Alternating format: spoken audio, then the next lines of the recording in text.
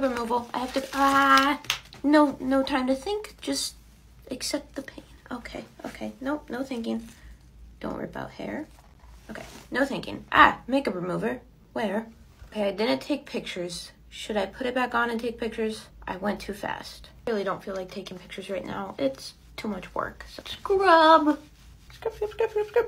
Surprisingly, oh, I hope these come off or else this is going to be weird. I was going to say something, but I don't remember what I was going to say. I don't know. I have the air set at 77 degrees right now, which is hot. Need water. Get it off. I don't want this on me anymore.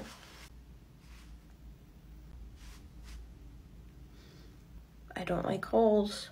I saw the holes. I saw them. I'm not going to look at myself. I'm going to stare at the wall and take my makeup off. Staring at the wall, not making eye contact. Ah, I made eye contact. I'm going to go take a shower and I'm going to scrub it off in the shower because I, I hope you enjoyed